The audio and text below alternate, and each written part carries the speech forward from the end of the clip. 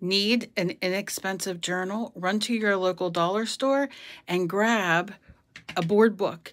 You can then gesso it and you can work in it like a regular art journal. You could give it away. You could do whatever you want.